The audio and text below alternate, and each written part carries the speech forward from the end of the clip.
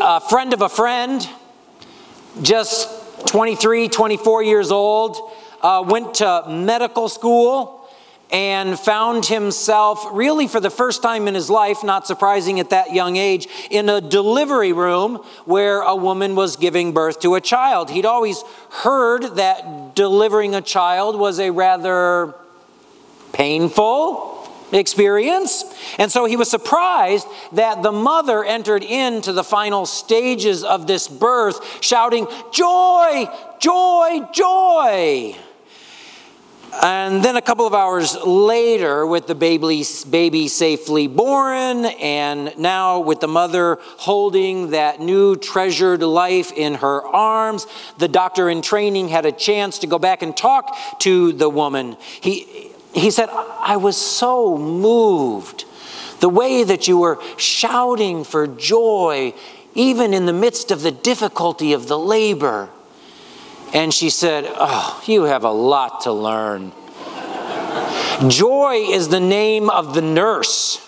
And I was shouting in agony for her to put it to an end.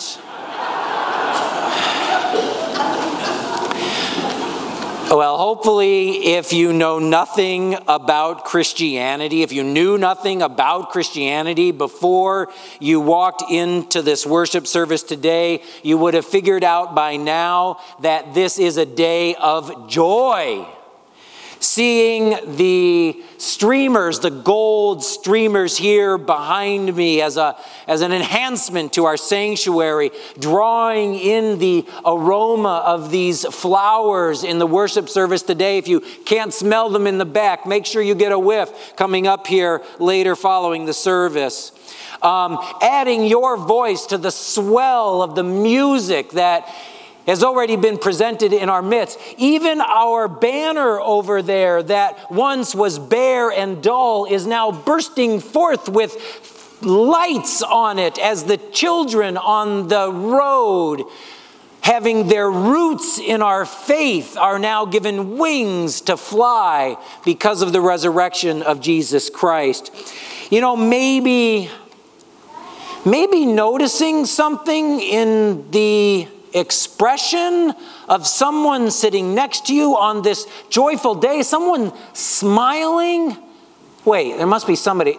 I think there's there's one. Yeah, you stand up. Show everybody your smile. Amen. See? This is a day of joy. Like childbirth, however, the joy of Easter only comes after a time of pain.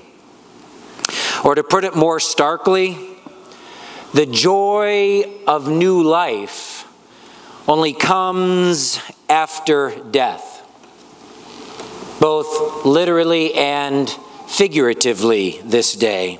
Truth be told, the resurrection of Jesus is even more wonderful and disorienting than a child emerging from the womb. The birth of a child is crazy, right? But it is a perfectly natural process. With Jesus, though, new life springs forth unnaturally, unexpectedly from the nothingness of death. When Jesus was killed, his body wasn't the only thing nailed up there on the cross. After he died, his body wasn't the only thing lying there in the tomb. Along with him there also pierced, bloodied, and dead were the, the courage, the hope of the people. His death was not simply the end of his life, it was the death of life's meaning for his followers. You see, there was a lot riding on Jesus there was a lot riding on how his story turned out. The hopes and fears of all the years, so many years of longing and struggle, There were years of oppression and loss of identity. 500 years before Jesus, these people, his followers, lost their homes, their ways of life, the pillars of their faith, all of it gone. The Babylonians invaded and burned their fields, destroyed their homes. They tore down the ancient walls of Jerusalem and razed the temple. You know, it was such a terrible time that we have a word for it, a proper noun, like, you know, the Great Depression or the Holocaust. It was called the exile. And in the last couple of years, you've probably seen images, maybe from the Syrian civil war, of entire towns reduced to rubble and void of people. I know you've seen images of refugees scattering across the globe trying to find somewhere to escape the devastation. That's what it was like as the exile began. As heartbreaking as the Twin Towers tumbling on September 11th, as soul crushing as images of the body of a three year old boy washed up on the beach. The exile. And it was an exile from everything that the people knew about life and about God and about the future. And if you look at a timeline of the biblical story, you'll see that this exile lasted for 50 years. But if you asked the people who actually lived through it and asked their children and then their children down through the generations, you would hear the people of Jesus' day say that the exile was not really over yet. Yes, they had come back to their homeland from Babylon or wherever else they were scattered upon the face of the earth, but their enemies were still on top. First the Babylonians, then the Persians, then the Greeks, then the Syrians, and now in Jesus' day, the Romans. It's, it's sort of like if you lived in a beautiful home and one day you were kidnapped, kept for years in seclusion Finally, you are released and you go home only to find that your kidnapper has killed all of your family, taken your home, and now you have to live in a room in the basement. Yes, your kidnapping is over, so to speak, but it isn't over. In Jesus' day, the exile wasn't yet over. In biblical vocabulary, you'll recognize this word perhaps. The people still needed redemption, they needed to be redeemed. And that meant that they needed a new exodus from the anger and despair of this ongoing exile, the people looked back even further in their history, beyond 500 years in the beginning of the exile. They looked further back, a thousand years, to their birth as a people when they were slaves and God redeemed them from slavery in Egypt. The reason they had a wonderful home and family to begin with before the exile began was because in those ancient days God had heard their cry and saved them. That was what the Exodus was all about. So, what they needed now was a new relationship with God, a new Exodus, a renewed covenant that would bring about their redemption. In the book of Psalms, we have Psalm 43. It's one of the Psalms that the people of Jesus' day prayed in the synagogues and at homes. It was always on their lips. And we can imagine that they had their present, ongoing exile in mind and that they had very clear notions of what they hoped God was going to do about this exile. The words of Psalm 43 say, Vindicate me, O God, and defend my cause against an ungodly people. From those who are deceitful and unjust, deliver me. For you are the God in whom I take refuge. Why have you cast me off? Why must I walk about mournfully because of the oppression of my enemy? Oh, send out your life and truth. So the Bible then offered to Jesus and his contemporaries an unfinished story a story that was in search of an ending, in exile in search of a true homecoming, in injustice in search of a reckoning, a brokenness in search of a wholeness, a death in search of a life. How had they thought this was going to end? How did they think the story would come to its completion? Well, it's pretty clear from the New Testament that they thought it would happen in two ways that there would be a new zeal for God, which would motivate a military revolt. The holy remnant, as they thought of themselves, the holy remnant with God on its side, would defeat these pagan rulers around them Thus it had always been in Scripture, and thus they believed it would be when that great climax came, when Israel's God would become king of the world, as they tried to make Jesus just five days before his death. There would be a leader one anointed with oil by God to lead them in both this zeal for God and this might. And of course, the title of this leader was Messiah or Christ. And so they thought that the ancient story of the exile would be brought to an end with holiness and military victory.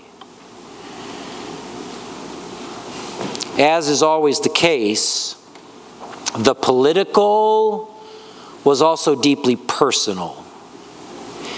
The exile that they so longed for to come to an end was not just about being an alien in your own land, it was about being an alien in your own skin, being an alien from God.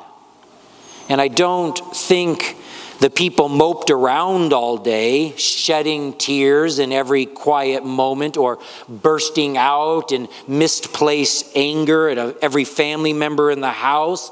But life was harder than it needed to be. It was less joyful than it ought to be. And God seemed more distant than God promised to be. And always the Romans were not far away with soldiers and taxes and contempt. Jesus' followers thought that in him the search for an end to all of this was over. They thought he was that anointed one, that Messiah. But then they saw what happened. The crucifixion of Jesus was the complete and final devastation of their hope. Crucifixion is what happens to people who think they're going to liberate Israel and find out too late that they're wrong. There was no upside here. Jesus' followers knew from reading the book of Deuteronomy that a crucified person was under God's curse. The crucifixion had for them a perfectly clear political and personal meaning. It meant that the exile was still continuing, that God had not forgiven Israel's sins, that those pagans were still ruling the world, and that their thirst for redemption was not satisfied. They saw Jesus killed. Simple, clear, undeniable proof that nothing had changed. It seems to me that the right image here is um, a black hole. As black holes gather everything, even light itself, in their inescapable grip, so Jesus' death was a black hole of meaning and hope and everything that's worthy of the word life. There was no way for his followers to think about the days to come and believe that the future still had meaning. Meaning, hope, life, all of it had disappeared into that black hole, or, or it was all at least scattered there on the floor of the tomb alongside the body of Jesus. But wait. The body of Jesus wasn't there. How can that be? The reading that Beth Bozeman, in the guise of Dave, read earlier from Luke said that the women who came to the tomb to finish burying him, of course, because he was dead, they were perplexed. That's the word that was used, but I don't think that that quite captures the tone here. The better translation is really they were completely at a loss. They couldn't even begin to make sense of this because everything had collapsed into that black hole of meaning. There was no, no, no thread of hope, no strand of life, no thread of the future to grab onto. They were completely at a loss. And then the men in dazzling clothes. And who wouldn't have on dazzling clothes when they had a message like this? They said, Why do you look for the living among the dead? He is not here, he's been raised.